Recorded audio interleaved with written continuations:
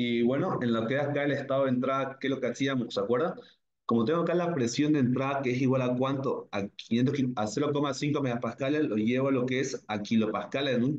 Con el conversión que dice un megapascal equivale a 1000 kilopascales, que es igual a 500 kilopascales, ¿no? Voy con esta presión a dónde? Voy a la tabla A5 y saco la T de saturación. Con esta T de saturación lo que hago es verificar si esto es mayor o menor. ¿Menor a qué? Si esta T de entrada es mayor a la T de saturación, yo me encuentro en vapor sobrecalentado o recalentado. Si la T de entrada es menor a la T de saturación, yo me encuentro en líquido comprimido. Como acá veo que 350 es mayor que 151, yo sé que me encuentro en vapor recalentado o sobrecalentado. Muy bien. Como me encuentro en sobrecalentado, ¿qué es lo que hago acá? Voy con esta presión de 0,5 megapascales, con esta presión y con esta temperatura, entro a dónde? Entro a la tabla A6 y saco lo que es la entalpía de entrada. Una vez que yo encuentro acá lo que es entalpía de entrada, ¿qué es lo que hago? Hago lo que es un balance de masa, o también conocido como ecuación de continuidad, que me dice acá la masa que entra menos la masa que sale es igual a masa inicial, masa final menos masa inicial. Entonces, ¿qué tengo acá? Tengo lo que es entrada, ¿no? Como tengo entrada, la salida es lo que no tengo. La salida se llega a despreciar porque no hay salida, solamente hay entrada dentro de este SAEFU, ¿no? ¿A qué es igual la masa entrada? Es igual a la masa final menos la masa inicial. Muy bien. Pero acá tengo dos cosas que no tengo. Masa de entrada, no tengo, no sé cuánto, cuánto entra. Masa final, tampoco sé cuánto es la masa final. Si bien recuerdo acá que pide el inciso C, me pide la masa entrada y la masa final, ¿no? Ambas cosas no tengo, ¿no? Entonces acá yo sí sé una cosa, sé que esto se encuentra como, se encuentra aislado, que no hay transferencia de calor con el medio exterior.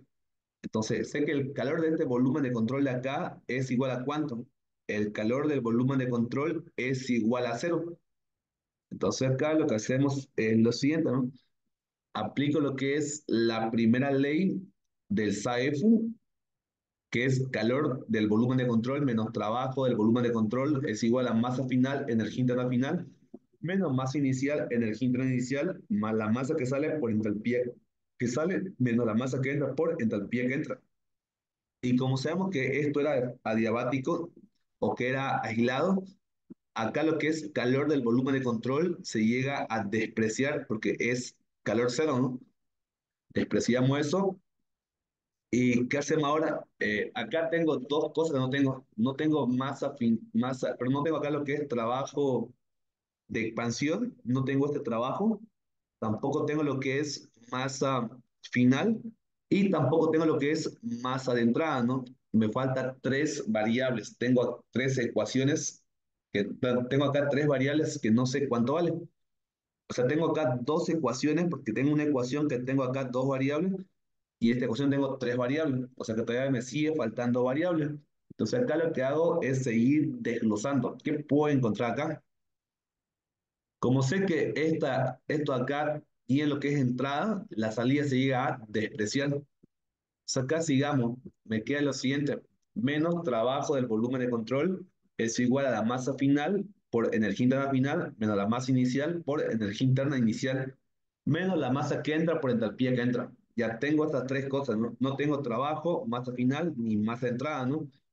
Pero yo acá sé que la masa que entra, que es igual, es igual a la masa final menos la masa inicial.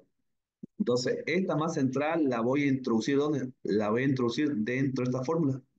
En vez de masa entrada, voy a colocar masa final menos masa inicial, ¿no? Entonces acá desglosamos.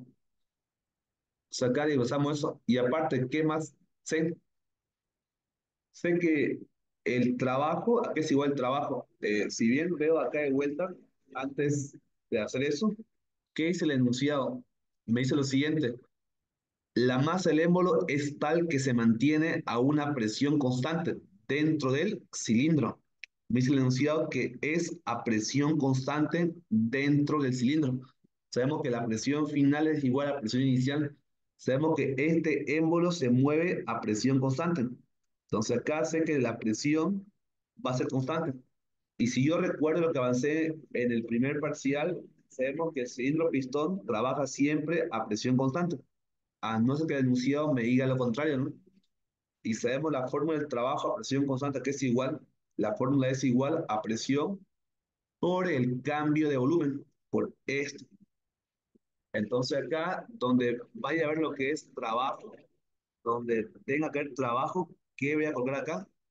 Voy a poner presión por volumen final menos volumen inicial. Entonces acá desglosamos. En vez de este trabajo acá pongo lo que es menos presión por volumen final menos volumen inicial. Es igual a masa final por energía interna final menos masa inicial por energía interna inicial menos la masa que entra. Esta masa que entra, ¿qué valía? Masa final menos la masa inicial, ¿no? Valía esto, ¿no? Esto acá dijimos que es la masa que entra, ¿no? Ya, a lo ahí. Esto es lo que entra. Y por entalpía que entra. Ahora, ¿qué es lo que sigue? Esta presión acá va a multiplicar a lo que es este volumen de acá. Y esta presión acá va a multiplicar lo que es a este volumen de acá. Eh, más por, perdón, menos por más, menos, menos por menos, más. Lo mismo. Esta entalpía acá va a multiplicar a esta masa inicial esta entalpía acá va a multiplicar lo que es a esta masa final. Pero antes acá voy a descubrir la definición de la entalpía. Esto acá, ¿qué tengo acá? Acá yo puedo tener lo que es masa final por energía interna específica final, ¿no? Esto acá es igual, es igual a energía interna total final, ¿no? Entonces pongo acá que la definición de entalpía, definición de entalpía, entalpía que es igual, es igual a energía interna más la presión por el volumen. Esa, eso es la entalpía. Entonces, con esta definición de acá de entalpía, lo que yo hago acá sería, este, simplemente voy a introducir, es decir, voy a encontrar lo que es entalpía. O sea, acá lo que hago es convertir esto en qué? en energía total final, ¿no? Energía interna total final. acá encuentro energía interna total final, ¿no?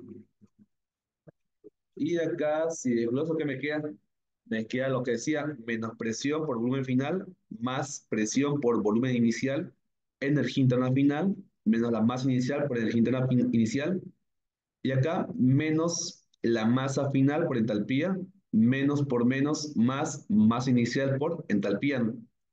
De esta fórmula acá, lo que no tengo es volumen final, tampoco tengo la masa final y tampoco tengo la energía interna total final.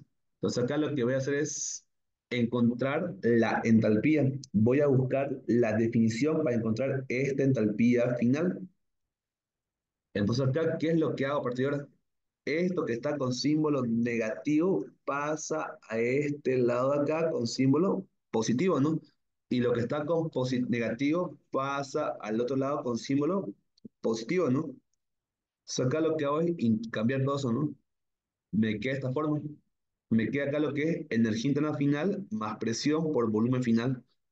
Está con negativo, pasa con positivo. Está con negativo, pasa con positivo. Está con negativo, pero está con positivo, pasa con negativo, ¿no? Entonces acá lo que hago ahora sería, acá ya tengo lo que es la definición de la entalpía. Esto es igual a entalpía final. Entonces acá tengo entalpía final. Entalpía final, ¿a qué era igual?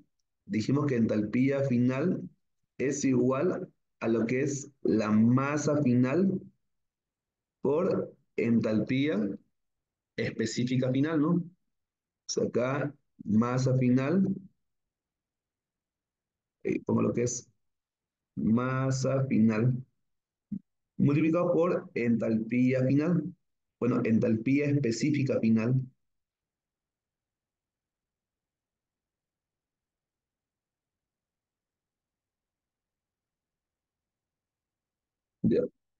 Entalpía específica final. Entonces acá, ¿qué es lo que digo? Decimos acá lo siguiente. Tengo masa final por entalpía final es igual a presión por volumen inicial más la masa inicial por energía interna inicial más la masa final por entalpía entrada menos la masa inicial por entalpía entrada. De acá, esta masa final es lo que no tengo, es lo que yo debo encontrar. No sé cuánto vale esta masa final, tampoco no sé cuánto vale esta masa final. Energía interna final es energía interna, bueno, entalpía final es entalpía final, ¿cómo la consigo? ¿Cómo la conseguí? La consigo de la tabla. En el estado final, si bien recuerdo acá, el estado final de acá, estado final, voy con la presión, con esta presión de acá, entro a la tabla A5 y digo que la entalpía final acá es igual a la entalpía del vapor. ¿Por qué? Porque nos encontramos en vapor saturado. Entonces, entalpía final igual a entalpía del vapor, Hg, y yo tengo entalpía, ¿no? Lo que sigue ahora sería eh, seguir desglosando hasta que encontremos eso. Eh, esto que está con positivo pasa a este extremo con símbolo negativo, ¿no? Me queda acá lo siguiente. Masa final por entalpía final menos la masa final por entalpía entrada. Acá puedo factorizar lo que es la masa final.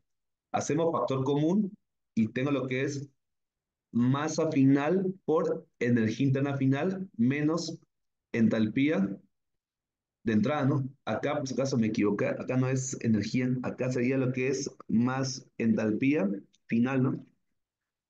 Acá es entalpía final, H final, ya. Muy bien. Esto que está acá multiplicando pasa al otro lado a dividir. Entonces pasaría acá a dividir. Y me queda lo que es masa final es igual a presión por volumen inicial más la masa inicial por energía interna inicial menos la masa inicial por entalpía entrada. Todo sobre entalpía final menos entalpía de entrada, ¿no? O sea, acá reemplazo todo. Esta presión de acá, aquí es igual, es la presión constante, ¿no? Que si el enunciado es la presión inicial y final, ¿cuánto valía? 200 kilopascales, ¿no? Está acá. Eso vale lo que es una presión de presión final que es igual a inicial, que es igual a 200 kilopascales, ¿no? Muy bien. Entonces acá ya sé cuánto es la presión. Acá reemplazamos los datos y me queda lo siguiente, ¿no? Presión 200, volumen inicial 5,316, 319, que está por acá. Eso está por acá. 5,319. Algo ahí. Y después lo que es, ¿qué más? A ver. Acá después tenemos lo que es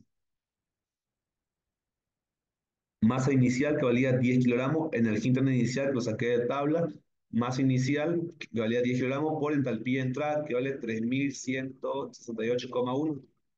Y acá lo que es entalpía final que lo saqué de tabla menos entalpía entrada. Todo esto acá lo meto a la calculadora y sé cuánto es su valor que es 29,07. Entonces, esto acá sería, esto acá es el inciso C, porque me pide el enunciado la masa final. Con eso encuentro la masa final. ¿Qué más me pide aparte del enunciado? Me pide la masa de entrada, ¿no? A esta ecuación de acá, a, esta, a este balance de, masa, se dan cuenta que si ya tengo la masa final, si ya tengo esta masa final, ¿qué puedo encontrar acá? Tengo masa final y tengo lo que es masa inicial que valía ¿cuánto? 10 kilogramos. Entonces puedo encontrar lo que es la masa de entrada, ¿no? Y vamos ahí. Decimos acá que la masa entrada aquí es igual. La masa que entra es igual a masa final menos masa inicial. Masa final a calcular ahorita, ¿no? ¿Cuánto valía? 29,7 menos la masa inicial que valía 10. Entonces la masa que entra es igual a ¿cuánto? a 19,07 kilogramos.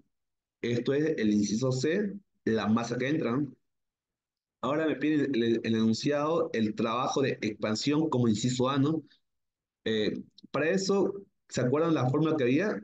Había una fórmula que decía que el trabajo aquí es igual, donde está acá, si bien reviso acá, sabemos que el trabajo es igual a la presión por el cambio de volumen. ¿Qué volumen?